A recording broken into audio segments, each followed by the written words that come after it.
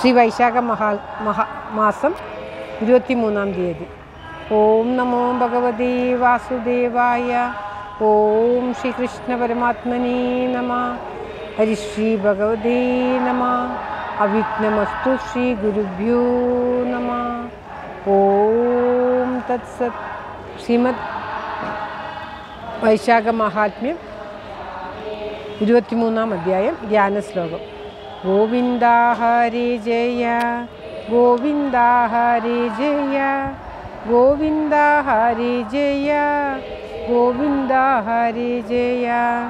ഗോവിന്ദ ശിവരാമ ദേവദേവേശ കൃഷ്ണ. ഗോവിന്ദ പ്രിയ ശൗരി ദേവകി സുത ജയ ഇത്തരം തിരുനാമ കീർത്തനം ചൊല്ലി വന്നോരുത്തമ കിളിപ്പെണ്ണെ ശുദ്ധമാനസേ ബാലി പുത്തൻ തേൻ പഴം പഞ്ചസാരയുമിളനീരും ചിത്ത കൗതുകത്തോടു ഭുജിച്ചു വസിച്ചു നീ. മൂഢരാം ഞങ്ങൾക്കെത്നം കൂടാതെ വിരവോടു മൂടമാം മോക്ഷമാർഗം അരുളി ചെയ്തിടണം. ഓം തത്സത്. ശ്രീ വൈശാഖ മഹാത്മ്യം ഇരുപത്തിമൂന്നാമത്തെ അധ്യായം. അത് ത്രയോവിംശോധ്യായ. സർപ്പദേഹം ധരിച്ചിടിന ദിവ്യനോ ഉൾപ്രീതി പൂണ്ടു ചോദിച്ചു മഹാമുനി. ആരിടോ നീ എന്തു ദോഷാലുരേഖമായി കാരണമെന്തിന്നു ദേഹം ഉപേക്ഷിപ്പാൻ? എല്ലാം ഉര ചെയ്യുക എന്നതു കേട്ടവൻ ചൊല്ലിനാൻ ആശു വണങ്ങി വിനീതനായി. പണ്ടൊരു വിപ്രനഹം പ്രയാഗസ്ഥലെ ഉണ്ടായ പുത്രൻ കസീത മുനിക്കു ഞാൻ. നാമമാകുന്ന രോചനൻ നിന്നറി ശ്രീമതൻ വിദ്യാമതൻ മഹാഗർഭിതൻ സൗന്ദര്യ യൗവന സമ്പന്നൻ എത്രയും ധന്യൻ ധനാഢ്യൻ ബഹുപുത്രധാരവാൻ.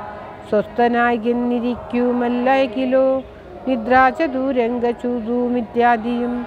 ഭൂലോകപാലകൻ പറയും ചിരിക്കയും കാലവുമെല്ലാം കഴിക്കുമേവം വിധോ.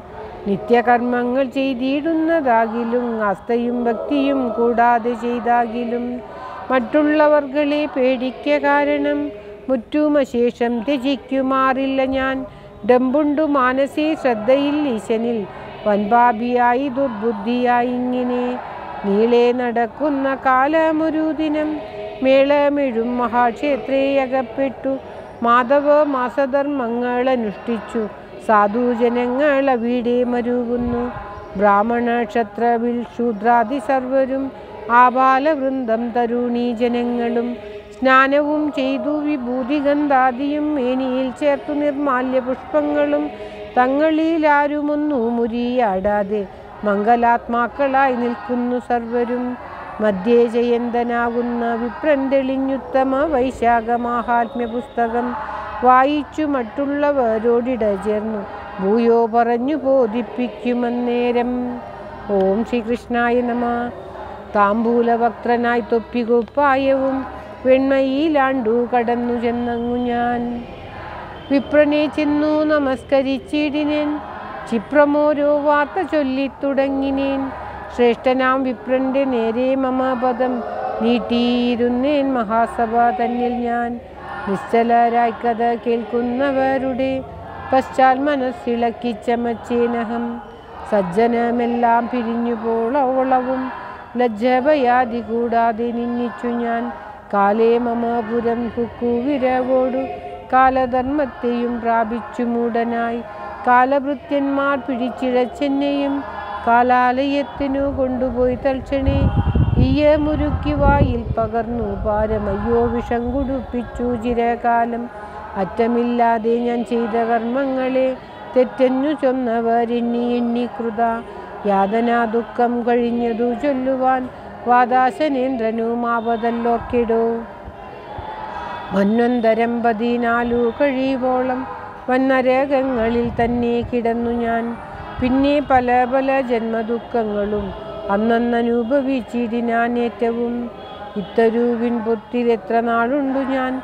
അത്തലോടെ കിടക്കുന്നു ദയാനിതേ ഇന്നു വൈശാഖമാകുന്ന ധർമ്മങ്ങൾ നന്നായി ശ്രവിച്ചേതു നേരം മഹാപാപം.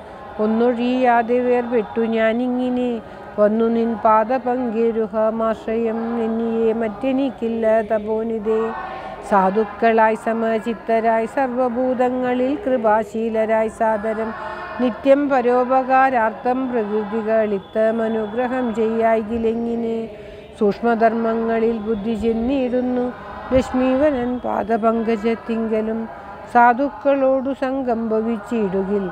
ബാധിക്കുമോ മതഗർഭാദി ദോഷങ്ങൾ ഏവം പുകന്നു നമസ്കരിച്ചിടിന. ദിവ്യനെ ശീഘ്രം നിവർത്തി മുനീശ്വരൻ. മന്ദമവനെ തലോടി അരുൾ ചെയ്തു. നിന്നുടെ കന്മഷം മിക്കവാറും തീർന്നു. നന്നായി അനുഗ്രഹിച്ചിടുവതിന്നു ഞാൻ. ഇനിയും നീ ക്രമത്താൽ ഇനി ഭൂതലെ പുണ്യനിശാർണവ രാജ്യെ പിറന്നുടൻ. സർവവേദം സ്മൃതി പാഠമാകും തവ. പൂർവജന്മ സ്മൃതിയും ഭവിക്കും സഖേ. സർവാഗ്രഹങ്ങൾ വിടിഞ്ഞു ഭവാനെന്നു. സർവവൈശാഖധർമ്മങ്ങൾ അനുഷ്ഠിക്ക. നിസ്പൃഹനായി ഗുരുഭക്തനായി നിത്യവും നിസ്സംഗനായി നിർജിതേന്ദ്രിയനായി ഭവാൻ. വിഷ്ണു കഥാലാപനായി മരുമ മരുമന്നു. ദുഷ്കൃതമെല്ലാം ഒടുങ്ങുമറിക നീ. ഭദ്രം ഭവിക്ക നിനക്കു മഹാമതി. മൽപ്രസാദാലെന്നു നിശ്ചയിച്ചിടു നീ. ഭീതിയോടെങ്കിലും ഹാസ്യമോടെങ്കിലും ചേതസി ദുഃഖം പൊരായിക കൊണ്ടെങ്കിലും സ്നേഹമോടാകിലും കാമേനയെങ്കിലും മോഹേന വാദ്വേഷ രോഷനിന്ദാതിയാം ദോഷമോരോന്നിനാലെങ്കിലും കൗസ്തുഭ ഭൂഷണൻ തന്നെ തിരു തന്തിരുനാമങ്ങൾ എപ്പോഴും ഉച്ചരിച്ചമ്പോടിരുന്നു കൊണ്ടാകിലോ നിശ്ചയം ദുഃഖമകലുമറിക നീ. ശ്രദ്ധയോടിന്ദ്രിയ നിഗ്രഹനായി ദയായുക്തനായി സൽക്കഥ കേട്ടു രമിക്കിലോ. ഭക്തിയും വർദ്ധിച്ചു ദേഹനാശത്തിങ്കൽ.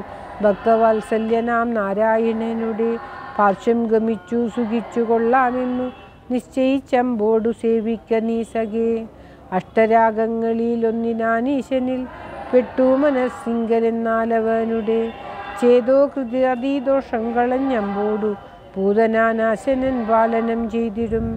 നിത്യം മഹാജന സംഗമമാശ്രയം കർത്തവ്യമോർത്താൽ മുമുക്ഷു ജനങ്ങൾക്കും സജ്ജനമേറ്റം അബദ്ധമായി ചൊൽകിലും വിജ്ജനാമാകനാശനമായി വരും.